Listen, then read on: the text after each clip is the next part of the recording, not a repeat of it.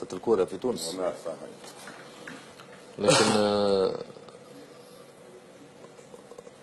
باش نتذكر آه، حاجات ممكن آه، معناتها صعيب ياسر باش نختار أنا ومنهم لأنه انتصاراتي على النجم كانت برشا.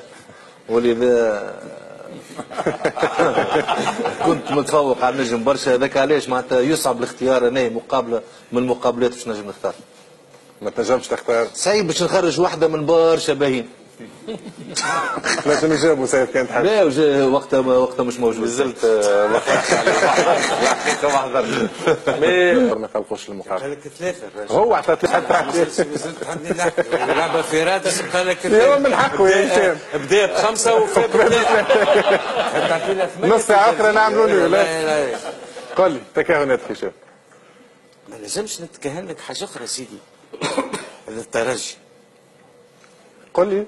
تحب التكهنات آه. كروية منطقية عاطفية كروية شو- عاطفية اللي يساعدك أنت. ما فماش عاطفة مع الترجي. فما الترجي.